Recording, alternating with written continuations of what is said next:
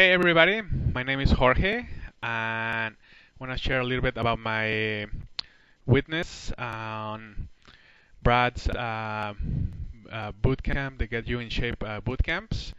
Uh, I started out with Brad uh, about a year and a half ago. Uh, at the time I was waiting, weighing about in at about 296. That was my top weight and he really encouraged me to join and to you know start out little by little. I've moved to Vancouver about a year ago.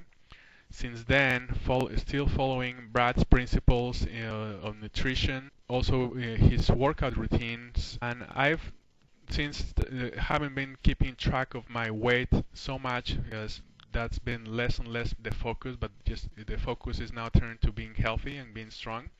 Last time I weighing myself, uh, I was at 210 pounds, and uh, this this has been something that just come gradually and naturally, just following uh, Brad's principles uh, that I learned since, since uh, I was with with him. He he's really really good at keeping you accountable, and so I thank you, Brad, for that.